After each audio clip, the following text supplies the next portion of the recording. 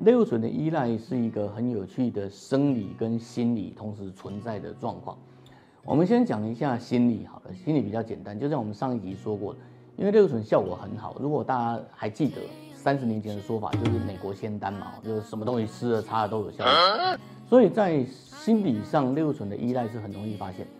可是类固醇更大的问题其实不是心理依赖，你知道在戒毒的部分，心理依赖已经很难控制了啊，就是他有需要他才会去使用毒品嘛，所以你必须让他觉得他不需要这样。可是毒品的阶段真正的困难是在于类固醇的反弹，就是当你使用类固醇以后，你一旦不用它，类固醇其实本身会产生一些类固醇的反弹，类固醇进段问题，那这些东西会使得你更愿意去使用类固醇，因为只有类固醇才可以处理类固醇的进段。那这才是类固醇依赖比较大的问题，也是我们在做皮肤健康管理的时候面临比较大的困难。嗯，类固醇近段不止在脂漏性皮肤炎，在敏感肌、在酒糟，甚至一些异位性皮肤炎都是一个很重要的题目。如果你到网络上去查那个 TSW 哈，就是 topical steroid 的做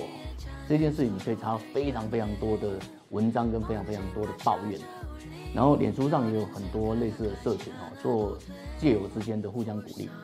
类固醇的进段的过程，第一件事情是类固醇反弹本身会造成一些胶原蛋白的溃烂，所以类固醇进段的病人通常会有组织液哦，会有一些皮肤的溃烂、发炎、红肿的现象。然后比较轻的进段到后期，因为它的组织液不再出来，可是细胞继续死亡嘛，所以它就会产生皮肤的严重脱屑哦，然后皮肤的干燥，那因为干燥会造成发痒。所以从红肿开始一直到干燥发痒，都是类固醇进段很大的问题。虽然这样说，可是其实类固醇进段还是有方法可以处理啊。就是对我们来说，类固醇进段很辛苦，可是它仍旧做得到。积液毒推广这么多年以来啊，类固醇进段一直是我们要面对的一个问题。那我们刚刚讲到类固醇会有组织液的时代，在组织液的时代，我们会加强的把它清除掉，正确的清除啊，而不是错误的清除。你不要用硫磺水直接清除它，因为过度的去除油脂，它反而会有问题。然后第二个，在干燥的保湿时代，哈，那时候我们要用的是安全的油霜，哦，安全的油脂，去让这些地方做成乳化。那乳化的时候，它的皮肤的干燥那些情况就会变比较好。好，所以类固醇近段我们其实很有经验，然后我们的病人也都可以脱离类固醇，哈，所以。如果你去查我的部落格，你会发现我有很多病人很有趣哦，他可能断断续续用的类固醇用了几年、几十年这样，十几二十年了。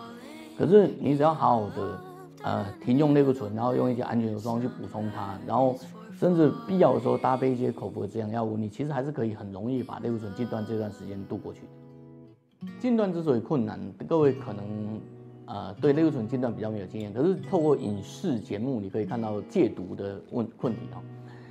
戒毒的困难是这样子，就是在戒断吗啡的时候，他会有心悸的问题，会有心跳问题，会有流鼻涕啊、哭闹啊什么哈。然后，所以我们会专业的部分，我们会让一个病人待在比较安全的地方，甚至必要的时候给他一些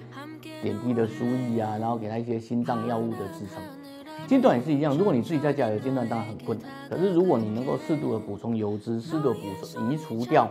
你脸上那些脏腻的东西，其实间断的困难期是可以有专业保护的。那在补充油脂的部分，呃，最差劲你可以补充凡士林嘛，就我们之前讲到。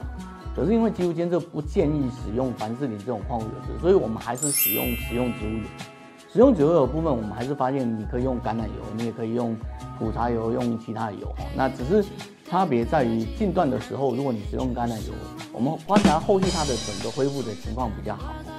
然后这个部分，你你的主要目的就是安全油脂的不断补充，所以你你这个在网络上查到我们的说法，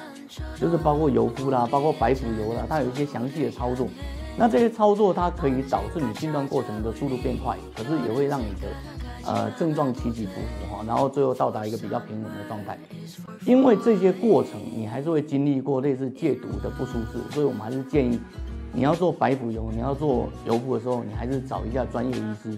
做肌肤监测的监控，这样你会比较舒适，也比较安全。